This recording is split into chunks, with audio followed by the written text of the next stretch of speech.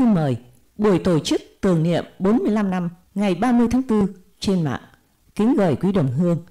vì đại dịch Covid-19 năm nay, chúng ta sẽ không thể họp mặt để tưởng niệm biến cố 30 tháng 4 1975.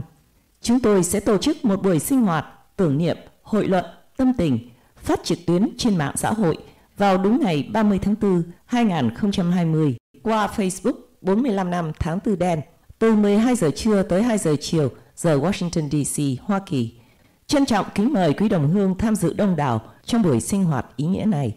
Ban tổ chức chân thành cảm ơn sự hỗ trợ của 85 tổ chức, hội đoàn, cơ quan truyền thông và sự tham gia phát biểu của nhiều vị chính giới cũng như đại diện nhiều tổ chức, lĩnh vực, tôn giáo, thế hệ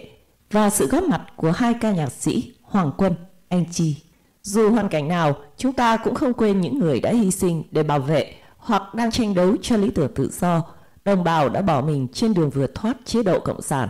và cùng nhau thể hiện quyết tâm thực hiện ước mơ thái hòa, ấm no, tự do, dân chủ và vẹn toàn lãnh thổ cho dân tộc. Ban tổ chức trân trọng kính mời bác sĩ Đặng Vũ Trấn thay mặt ban tổ chức gồm Việt Tân Bắc Mỹ, hệ thống truyền thông tiếng nước tôi, Hội Dân chủ cho Việt Nam –